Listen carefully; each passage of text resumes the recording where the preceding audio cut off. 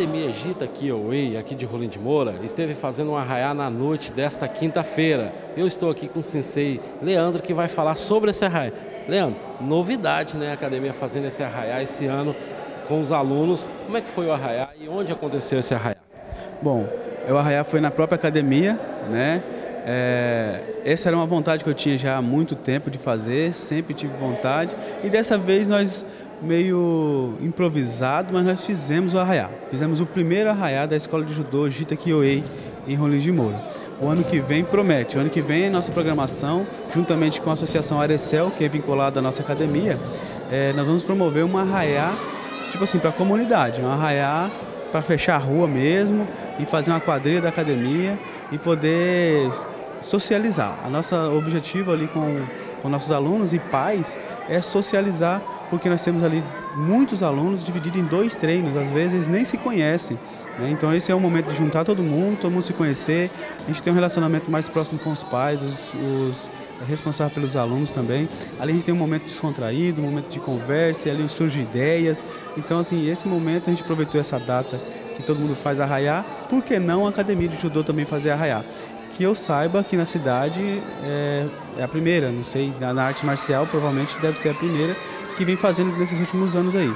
Mas esse é o primeiro, ano que vem promete. Nós temos uh, já essa, esse cunho social já há muito tempo aqui na cidade. Nós trabalhamos, já trabalhamos no, no Tancredo, na Escola Tancredo, na Escola Luiz Pinheiro Ferreira.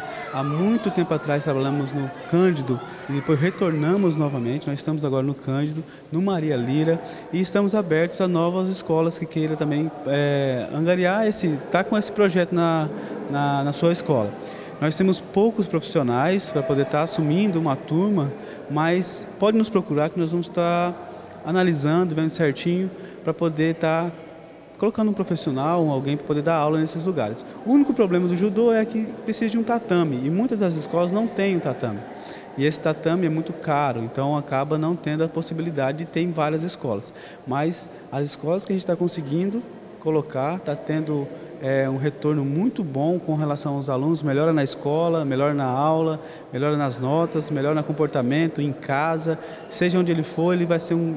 está se tornando um bom cidadão. Desde jogar um papel de bala no chão a uma coisa maior, ele vai ser consciente disso, né? E questão física, mental, né? E é uma defesa pessoal também. E falando dos projetos, todos os projetos também foram envolvidos nessa questão do arraiá e onde também pessoas que que têm o mesmo sensei treina com o mesmo pessoal, mas não conhece, porque assim, um numa escola, outro na outra escola, outro na outra escola, acaba não se conhecendo. E esse momento do arraiar foi o momento deles se conhecerem e, e, é isso aí. O ano que vem nós vamos fazer um pouco melhor, tá? Provavelmente nós já não vamos estar mais no mesmo local que nós estamos hoje, com relação a um ponto, né? Mas vai ser um lugar mais amplo, maior, para a gente poder estar fazendo essas atividades de interação.